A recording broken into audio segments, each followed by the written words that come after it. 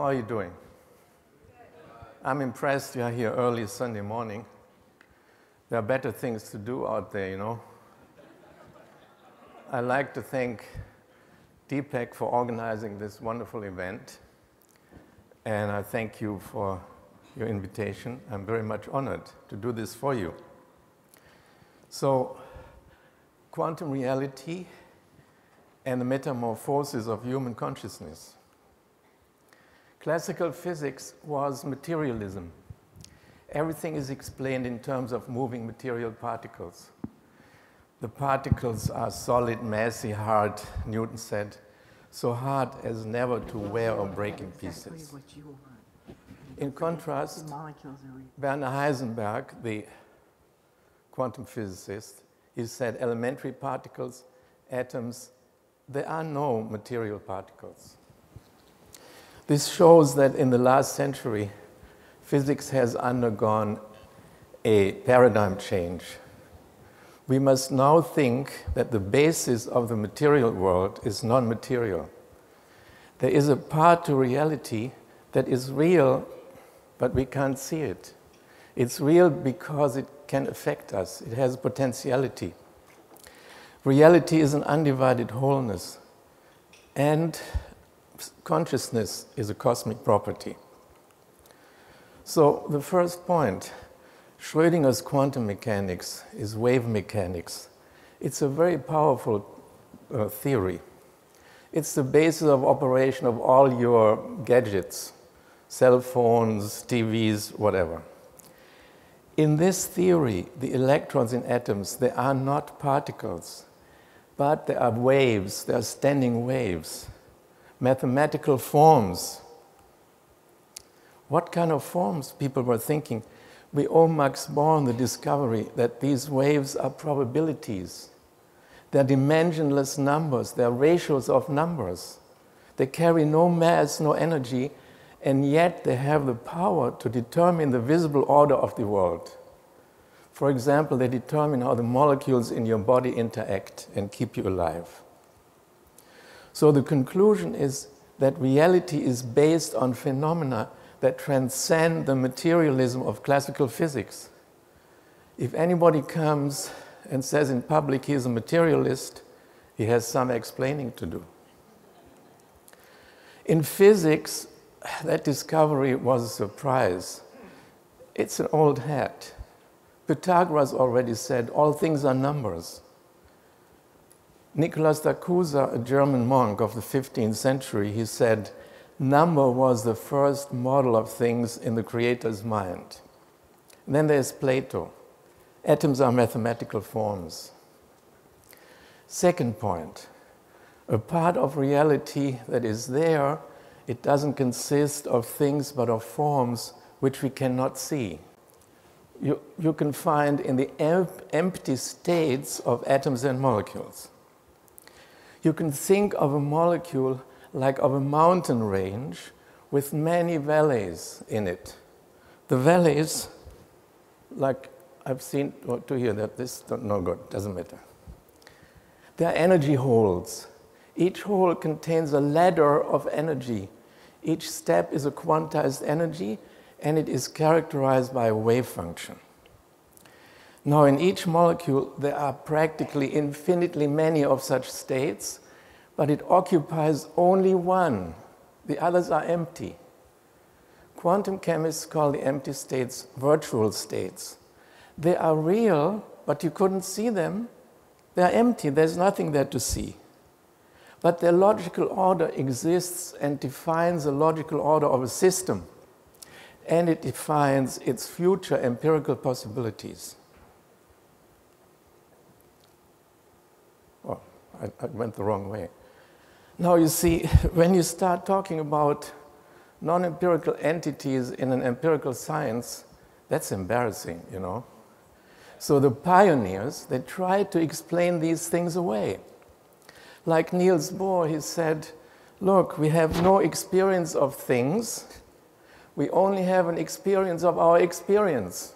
It tells us nothing, just forget about it. Einstein, all of his life, he did not like quantum theory. he said there's something wrong with it. Something is missing, it's incomplete. In contrast, I propose that the problem is not that the theory is incomplete, the visible reality is incomplete. It tells us nothing about the non empirical realm.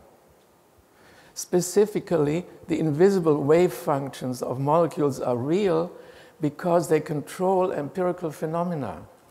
They control the chemical properties of molecules, their magnetic properties.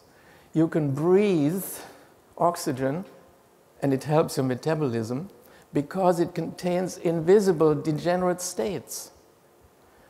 I will not talk about the Franck-Condon principle because that guy sits there and after 20 minutes. He, so I have enough examples that show virtual states can affect visible phenomena.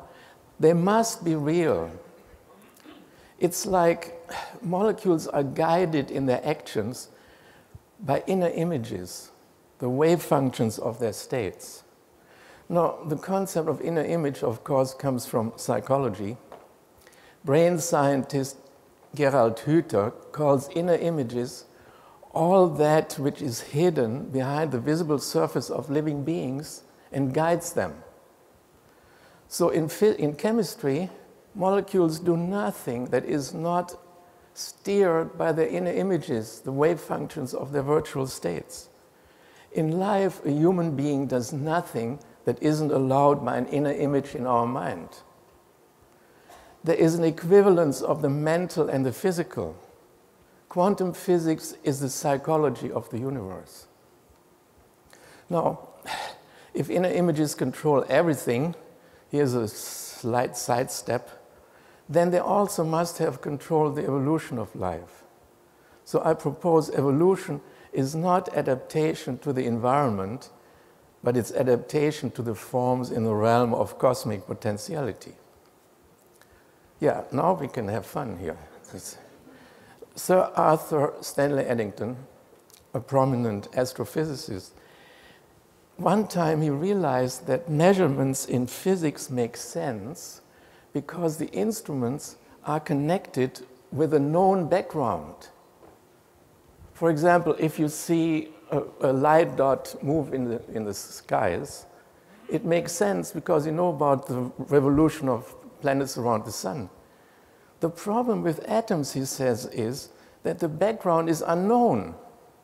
It's like the background of a brain. A brain has lots of visible things going on, but you don't know what is going on in the mind behind it. So he said, let's think the two together and say the background of atoms is thought like. Things like this guided him to the view that the stuff of the world is mind stuff, that the universe is of the nature of a thought or sensation in a universal mind. If you don't like it, you can just say, oh, yeah, these guys, they don't know what they're talking about.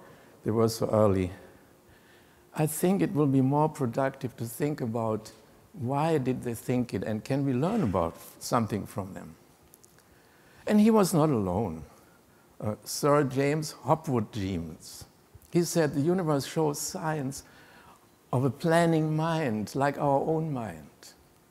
And it's not only the old guys. Hans-Peter Dürr, five years ago, he wrote, there's no matter, basically there's only spirit. So you see, physicists, they were looking for this, but it is like the properties that they observed in the quantum world, they kind of nudged them step by step until they realized all of reality is like this. There's a non empirical realm, it consists of forms. They have the nature of potentiality. Forms, they are waveforms, they are contiguous like waves in an ocean. David Bohm, another pioneer of quantum physics, says reality is undivided wholeness. Well, Menas Kafatos says, who's here, physicist, if reality is wholeness, everything comes out of it. Everything belongs to it, including our consciousness. Meaning, consciousness is a cosmic property. I know Menas. He, he, knew he didn't invent this because Hegel already did, the German idealist philosopher in the 18th century. He said absolute spirit is the primary structure of reality. Everything comes out of it, everything belongs to it. If you are proud of your thoughts, think twice. They aren't your thoughts, they are the thoughts of the cosmic spirit, he says, which is thinking in you. He might have thought he invented it, but you know, everything goes back to the Indian sages, then and now. The Indian sages had this allegory of water pots put in the sun. Take a million pots, fill them with water, put them in the sunshine. The sun is in each one of them, but there's only one sun. Take a million people, they all have consciousness, there's only one consciousness. Yeah, we talked last night about it. we don't have to do it anymore. We use words, they mean something. Nobody who says consciousness realizes that it means to be in a state of knowledge together with something. Why do we say that? It, it's not accidental. So, you know, whether you like these things or not, physicists get upset by it. One thing is a fact. By the way in which it describes the world, quantum physics has taken science into the center of ancient spiritual teachings. For example, no, um, the, the wave functions, Schrödinger's wave functions, they are pure forms, no matter, no energy. In Aristotle's metaphysics, there was only one pure form God.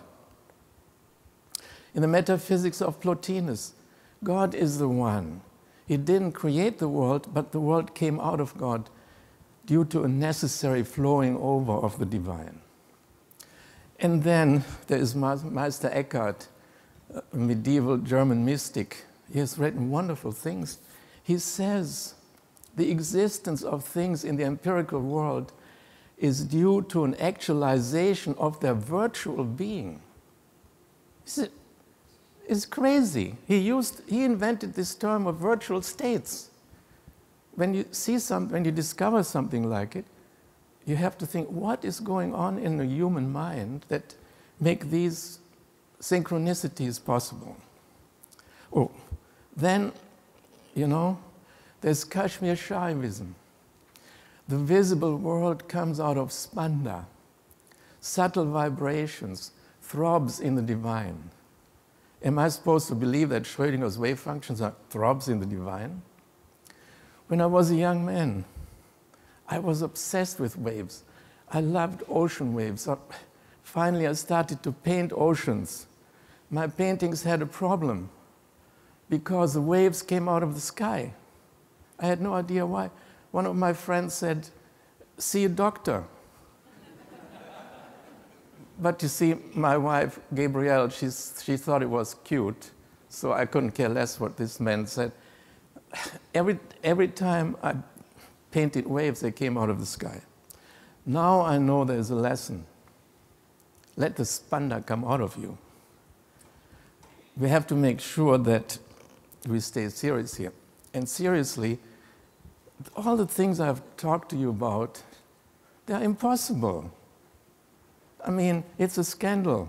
Get, get this man out of here. You know, in previous centuries, I would have been put on fire. Um, our society is, is more humane. We don't put people on stake, we just say, You're fired. So, what I like to suggest is the discovery of the quantum phenomena signifies a metamorphosis of our consciousness, a mutation, as though evolution was making a jump into a new species. And you know, it happens at a time. It, I, I get to. No, why do I not?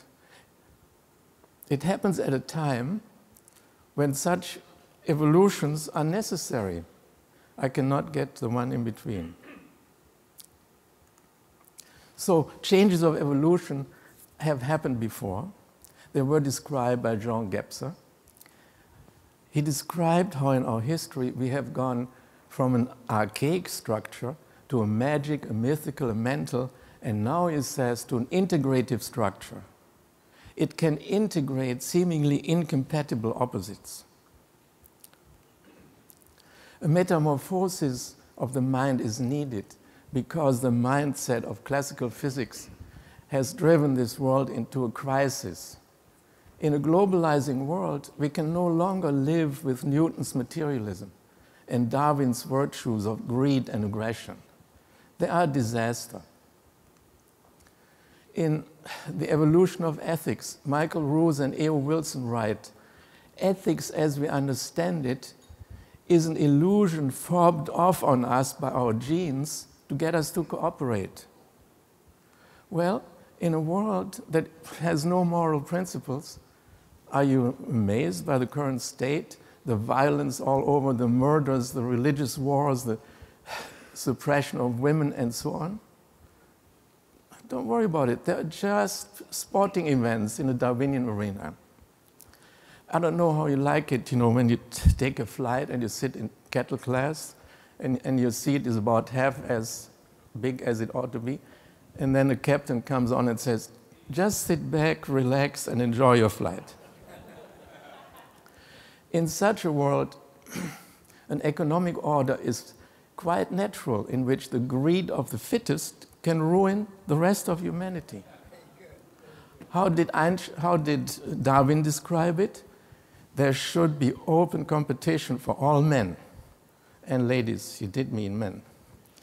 And the most able should not be prevented by laws or customs from succeeding best. I don't know about you, but I'm tired of this stuff. We need a change of mind big time, a metamorphosis. In a holistic universe, cosmic order can be a model for human order. There's no conflict between a spiritual view of the world and a rational view. And we have a basis for creating human order based on cooperation, not competition, and kindness, not aggression. This, whoops, yeah, now what do we do? This is the, this is the integrative spirit talking to you. Thank you, Deepak, for your spirit to get us all together. Thank you, Lothar. Okay. Just a minute. So actually, I don't have any questions for you because I agree with everything you say. Uh, now that worries me. but a couple of things, I think, it, which has to do with words. And you reminded me once that uh, Uh, when we don't consider anything important, what do we say? Right. The, we talked about in the context of your language washes your brain. In other words, often people say, okay, objectively taken, I have to say this and that. There's nothing you can say objectively because you, you express it in a language that language already programs you. So, Deepak's example, what do we say when something is unimportant? Maybe it doesn't matter. Because, it does not matter. Because if it doesn't matter, it do, it's immaterial. It doesn't matter. What's that German word, uh, Wirklicht? The German word? Wirklicht. Wirklich. Wirklich. Oh, yes, no, there was another example of when something is real. Reality, where does it come from? Latin res, things. Things are real. That's the only word the English language has for reality, for this meaning of reality. The German has two. It's The same, Realität is the same as reality, but it also has Wirklichkeit, which means it can act on you. It doesn't have to be a thing, but it's real. It programs the mind, in other words, you don't look for something that that isn't a thing to be real if your language doesn't let you. The word is the flesh. The word is the flesh. Thank you. Okay. Thank you.